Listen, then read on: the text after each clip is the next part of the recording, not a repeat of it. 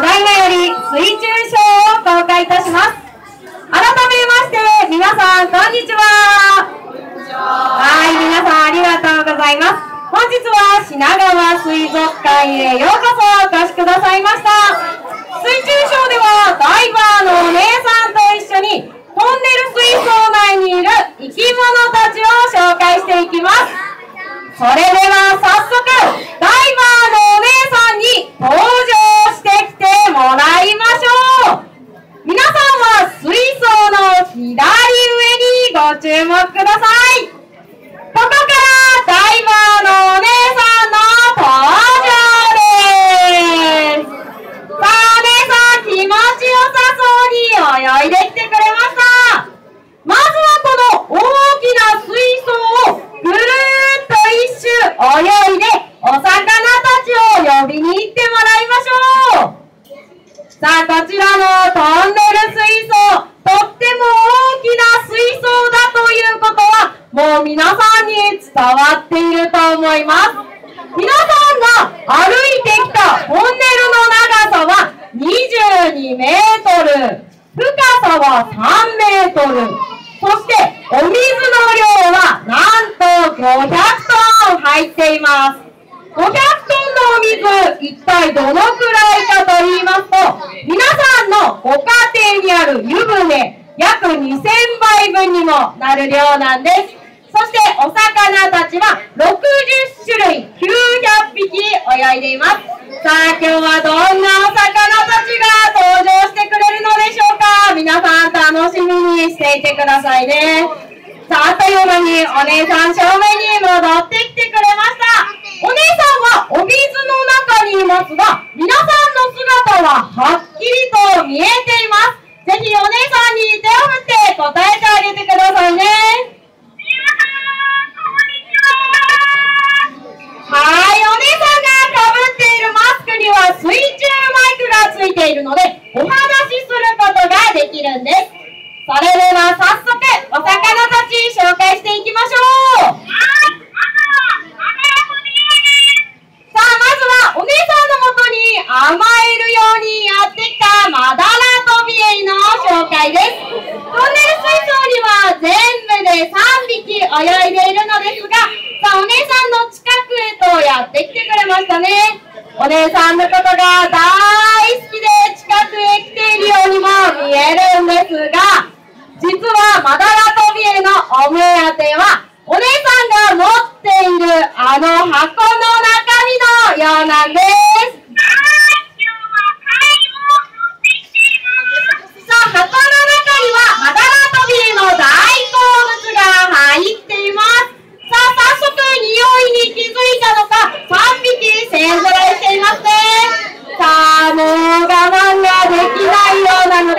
それでは早速上げていきましょう。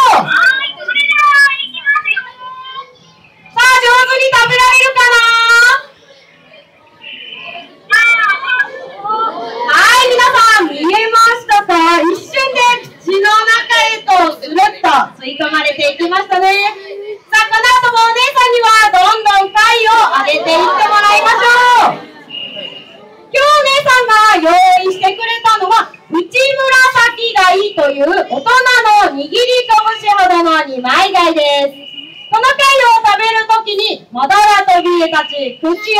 きく開けるので、口の中を覗いてみてください。上下のあごには白くて平ら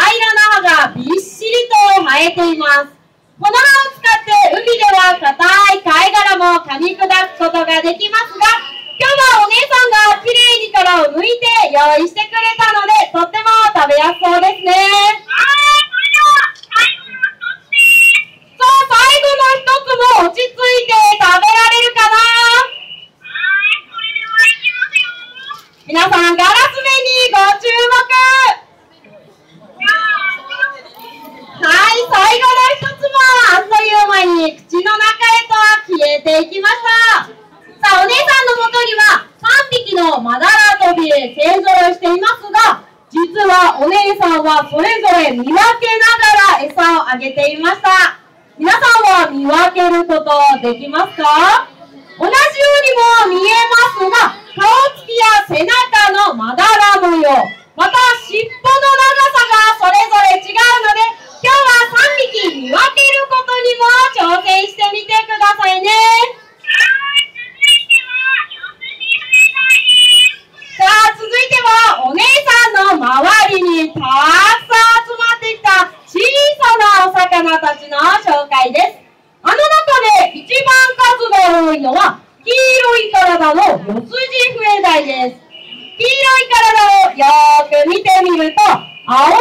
筋が4本入っていることから、四筋笛鯛という名前が付けられています。他にも赤い体の姫笛鯛や、網目模様の網目笛鯛など、お魚たちの名前は、このように体の模様や特徴から名付けられることが多いんですよ。いてお姉さんの手元へやってきた赤と白の縞模様のお魚を紹介しましょう。こちら名前を千年台と言います。こちらの千年台、最近トンネル水槽にデビューしたばかりなのですが、だんだんとお姉さんとの距離も近づいてきて、ショーが始まると、このようにお姉さんの手元へとやってきてくれるようになった、とっても可愛らしいお魚なんです。まだまだ体は小さいですが、実は成長すると1メートルほどになるとっても大型のお魚なんです。皆さん、この後もよかったら天然代の成長を楽しみにしてあげてくださいね。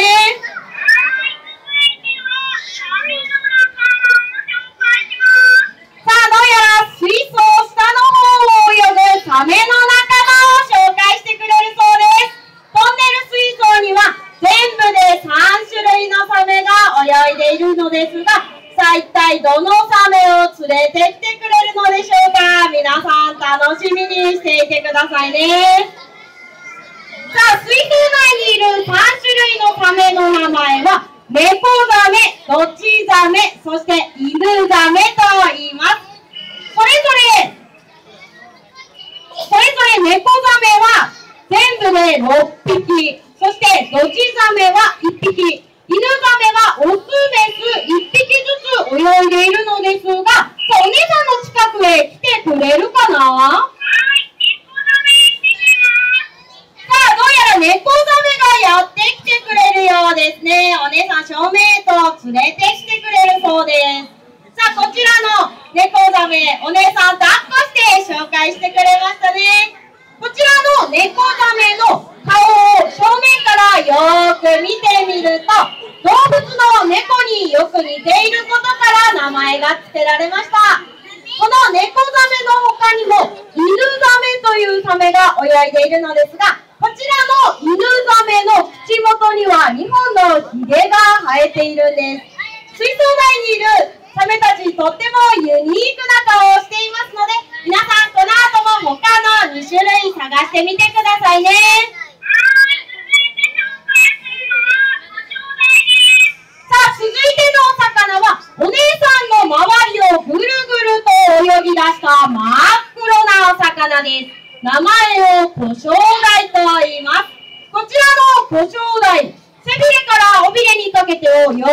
見てみると、小さな黒い点々模様があります。この模様がお料理に使う胡椒の実のように見えることから胡椒代という名前が付けられました。さあ、そしてどうやら自分の出番が分かっているようですね。今日はダイバーのお姉さんと一緒にとっておきの技に挑戦します。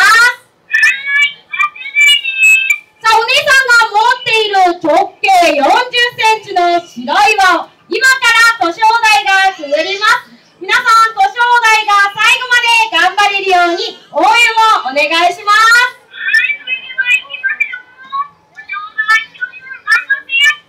さあ、1回目輪がセットされました。輪の位置をしっかりと確認して、はい、バッチリと決めてくれました。さあ、引き続き、古生代には頑張ってもらいましょう。こちらの古生代の枠ぐり、練習を始めた当時は、見慣れない輪に驚いてしまって、輪に近づくこともできませんでした。でも、ダイバーのお姉さんと一緒にたくさん練習を重ねて、今では輪を出すと後ろへ回ってしっかりとくぐれるようになりましたくぐった後はお姉さんからご褒美の餌がもらえているんですよ。挑